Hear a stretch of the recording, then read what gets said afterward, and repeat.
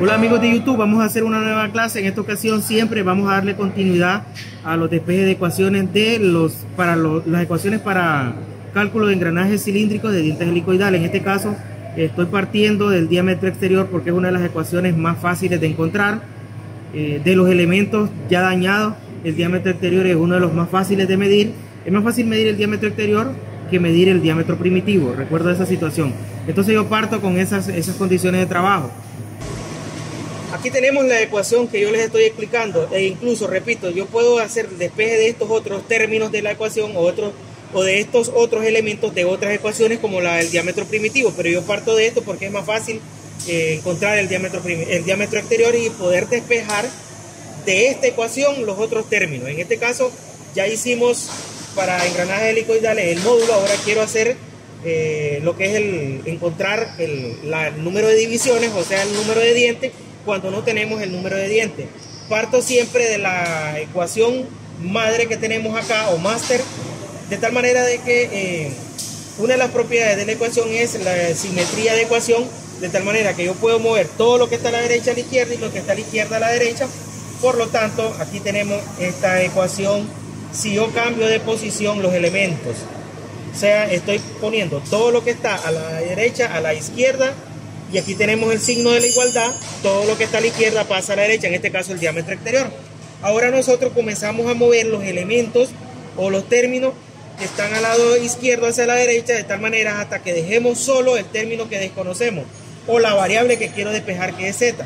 Entonces comienzo con el módulo z entre coseno del ángulo beta más 2, lo voy a dejar a este lado y voy a pasar módulo, está multiplicando, pasa a dividir. Por lo tanto, aquí tenemos este pequeño, este pequeño movimiento. El movimiento va a ser módulo, está multiplicando, pasa a dividir. Por lo tanto, aquí, perdón, voy a poner, aquí tenemos el módulo. Pero ahora yo descomponido, eh, tenemos descompuesto este binomio, lo sacamos del paréntesis para ahora comenzar a mover. Por ejemplo, eh, voy a mover lo que es el coseno del ángulo y también este, el, número que es una constante en la ecuación. Si voy paso a paso, aquí tenemos el primer paso, este sería nuestro segundo paso y por acá tendríamos un paso número 3. Agachate un poquito.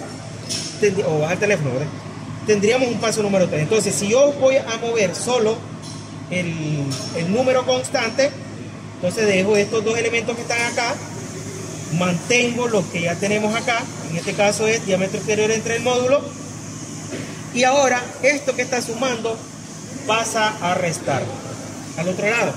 Ahora sigue mover esto que está acá. Como él está siendo dividido, pasa a multiplicar. Entonces, el cuarto y último movimiento va a ser el siguiente. A ver si nos agachamos un poquito ahí. Z pasa al otro extremo, ya dejamos el coseno del ángulo. Perdón, aquí yo estoy despejando como que si es el coseno que vamos, en realidad es Z, ¿no? Entonces, ese es el siguiente, esa es la siguiente videoclase. Z lo voy a dejar a este lado, pasa al otro lado del ángulo, por lo tanto, mantenemos, estos que están acá ya mantienen su posición.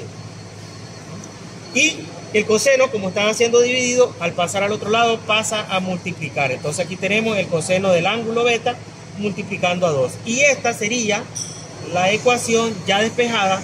En un dado caso, de que nosotros no tengamos eh, acceso al internet y, investigar cómo calcular el número de divisiones en un diente helicoidal o no sé, ¿verdad? Si no tenemos el manual, no tenemos el catálogo, nosotros tendríamos que despejar y aquí ya les estoy dejando despejar la ecuación. Ahora venimos para nosotros acá.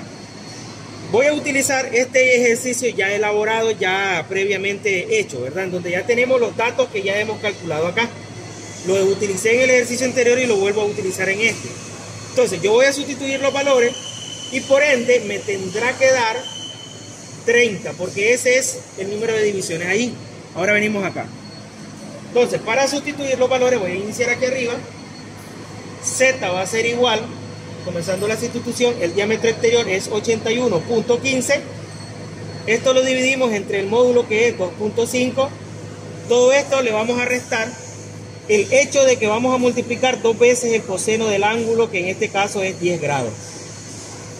Nosotros, teniendo esto, comenzamos a hacer eh, las operaciones. Esta división esta multiplicación y después, respetando la jerarquía de las operaciones matemáticas, realizamos la resta. Entonces, vamos a ver ahí, 81.15 entre 2.5, tenemos un resultado de 32.46, menos, hacemos esta multiplicación, 2 por el coseno de 10 grados, es igual a 1.900, eh, no, 969. Voy a utilizar tres decimales. Cabe señalar que aquí yo lo acabo de hacer de una sola vez, pero primero nosotros, alguien ahí puede hacer primero, sacar el coseno de 10, que es .9848, y después lo multiplica por, por 2. Pero eso, esa operación me la facilita la calculadora. Incluso esto todito, yo lo, hay algunas calculadoras que toda esta operación yo puedo introducirlo desde una sola vez los datos y me lo da bien. Pero claro, hay que saber introducir los datos, los paréntesis, porque eso te da un orden jerárquico de las operaciones matemáticas. Lo que tenga que multiplicarse primero se tiene que hacer primero, lo que tenga que dividirse primero se tiene que hacer para después terminar con sumas y restas que son las últimas operaciones. Ok, ahora venimos, Z va a ser igual a realizar la resta de 32.46 menos 1.969 y tenemos como un resultado aquí 30.4. Como aquí es número de divisiones, yo no puedo realizar divisiones enteras, este, intermedias. O sea, yo hago 31 dientes, 32, o sea, 28, 29, 30. No puedo hacer 30 dientes y medio. Entonces aquí yo lo redondeo a 30, 30 dientes. Esta sería mi respuesta. Ahora venimos nosotros aquí en el ejemplo que tenemos, tenemos 30 dientes. Eso significa que el despeje de la ecuación, la ecuación que tenemos acá, se convierte en una identidad matemática porque la podemos comprobar y verificar que el cálculo es el correcto. Porque nos da de igual manera como ya teníamos el ejemplo antes elaborado.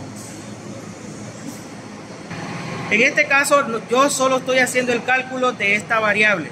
Cabe señalar que aquí falta calcular el paso de la hélice, la vuelta de la manivela, falta calcular también ah, el tren de rueda de la hélice, un montón de cálculos. Yo solo me estoy enmarcando en los cálculos de inicio, que esto lo hago porque hay algunas aplicaciones que te ayudan a hacer este tipo de cálculos. Por ejemplo, te pide ingresar diámetro exterior, número de dientes, este, ¿qué otra cosa? Ah, el módulo y la inclinación.